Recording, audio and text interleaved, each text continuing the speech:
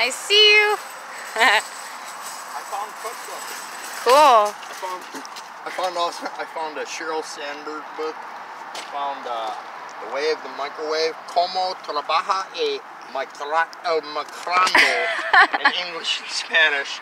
My Spanish is horrible. It was in a shopping cart by Walmart. I found Common Cooking Crisis and How to Deal with Them by Reader's Digest. And I think it has it does, it has cartoons. Oh wow. Uh, enjoyable meals with lamb, which I've never had. Lamb tastes pretty good.